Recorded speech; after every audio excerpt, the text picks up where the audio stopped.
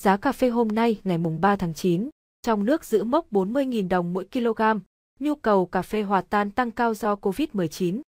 Giá cà phê hôm nay ngày mùng 3 tháng 9 trong khoảng 39.200 đến 40.100 đồng mỗi kg. Sàn London chủ động giảm ngay từ đầu phiên khi có dấu hiệu bước vào vùng mua quá mức. Giá cà phê ở New York tiếp tục điều chỉnh giảm. Tại huyện Di Linh, Lâm Hà, Bảo Lộc, Lâm Đồng giá cà phê hôm nay được thu mua với mức 39.200 đồng mỗi kg. Tại huyện Cư Mờ Ga, Đắk Lắk giá cà phê hôm nay ở mức 40.100 đồng mỗi kg. Tại huyện EH Leo, Đắk Lắk, Buôn Hồ, Đắk Lắk giá cà phê hôm nay được thu mua cùng mức 40.000 đồng mỗi kg. Tương tự tại tỉnh Đà Nông, giá cà phê hôm nay thu mua ở mức 40.000 đồng mỗi kg tại Giang Nghĩa và 39.900 đồng mỗi kg ở Đà Giờ Lấp. Tại tỉnh Gia Lai, giá cà phê hôm nay ở mức 40.000 đồng mỗi kg. Chư Prong, ở Pleiku và Lager giá cùng giá 39.900 đồng mỗi kg. Còn giá cà phê hôm nay tại tỉnh Con Tum được thu mua với mức 39.900 đồng mỗi kg. Sáng nay, giá cà phê tại các vùng trồng trọng điểm có chiều hướng giảm nhẹ 100 đến 200 đồng mỗi kg so với cùng thời điểm hôm qua. Kết thúc phiên giao dịch gần nhất, giá cà phê Robusta tại London giao tháng 11 năm 2021 giảm 10 USD mỗi tấn ở mức 2056 USD mỗi tấn. Giao tháng 1 năm 2022 giảm 7 USD mỗi tấn ở mức 2021 USD mỗi tấn. Trong khi đó trên sàn New York, giá cà phê Arabica giao tháng 12 năm 2021 giảm 1,35 cent LB ở mức 194,35 cent LB. Giao tháng 3 năm 2022 giảm 1,2 cent LB ở mức 197,05 cent LB. Trong phiên vừa qua, hai sàn đều giảm. London chủ động giảm ngay từ đầu phiên khi có dấu hiệu bước vào vùng mua quá mức. Giá cà phê ở New York tiếp tục điều chỉnh giảm sau những cơn mưa dài hạn đầu mùa ở Minas Gerais, bang sản xuất Arabica lớn nhất Brazil. Thị trường cà phê châu Á đang trong không khí giao dịch trầm lắng do Việt Nam bị ảnh hưởng bởi thiếu nguồn cung, trong khi cuộc khủng hoảng COVID-19 ở Indonesia cản trở hoạt động giao dịch ở nước này. Tình trạng phong tỏa ở Việt Nam đang làm tăng thêm mối lo ngại về nguồn cung cà phê toàn cầu, khi một loạt tỉnh thành phía Nam vẫn đang thực hiện chỉ thị 16 để phòng chống dịch COVID-19. Việt Nam là quốc gia sản xuất Robusta chính. Loại cà phê có vị đắng được sử dụng trong cà phê hòa tan và một số loại cà phê espresso. Theo ghi nhận, giá cà phê Robusta bán buôn đã tăng khoảng 50% trong năm nay.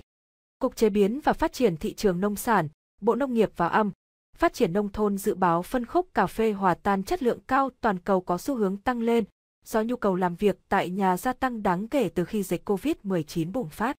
Tuy nhiên, Hiện nay việc xuất khẩu cà phê sang thị trường EU và Hoa Kỳ còn gặp khó khăn do tình trạng thiếu container vận chuyển dù đã đỡ căng thẳng hơn trước nhưng giá cước vẫn cao.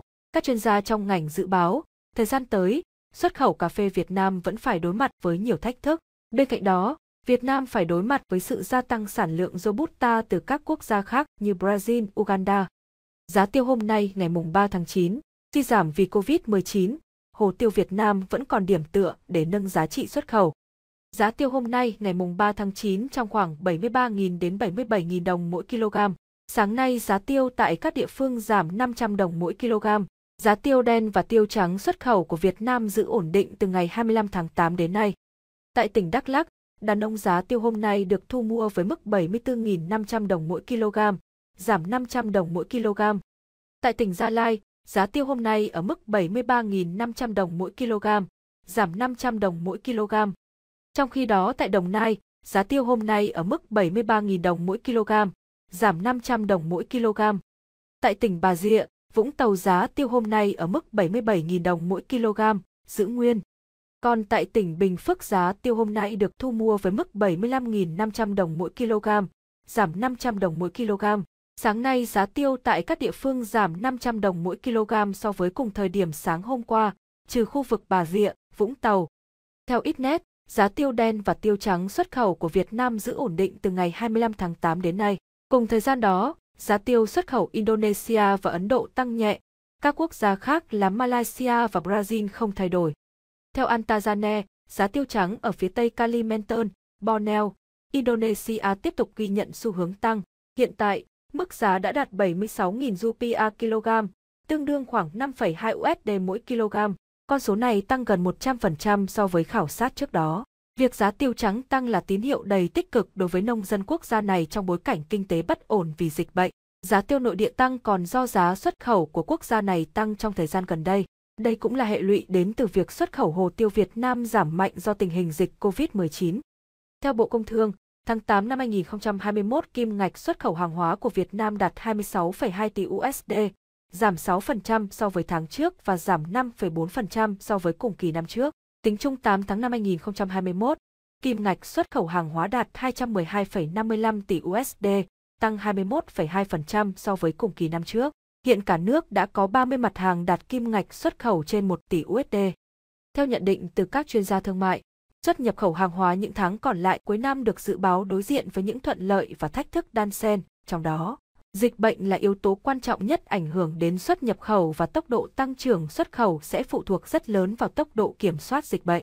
Đơn cử, với nhiều ngành trong nhóm công nghiệp chế biến, trong đó có hồ tiêu hiện đang bị đứt gãy cung cầu do nhiều doanh nghiệp ngừng hoạt động khi không đáp ứng được các tiêu chuẩn ba tại chỗ, một cung đường hai điểm đến.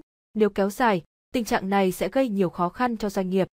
Tuy nhiên, các hiệp định thương mại tự do đang dần được thực thi một cách toàn diện hơn, hiệu quả hơn sẽ tiếp tục tạo điều kiện để hàng hóa của Việt Nam thâm nhập vào các thị trường đối tác với thuế quan ưu đãi, thông qua đó thúc đẩy xuất khẩu tăng trưởng mạnh trong thời gian tới khi dịch bệnh được kiểm soát.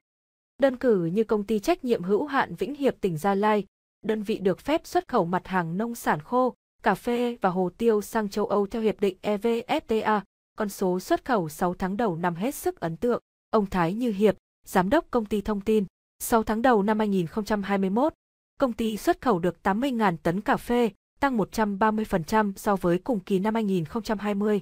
Trong bối cảnh chịu tác động của COVID-19, nếu tận dụng tốt EVFTA thì đây chính là cứu cánh cho giá trị xuất khẩu hồ tiêu Việt Nam.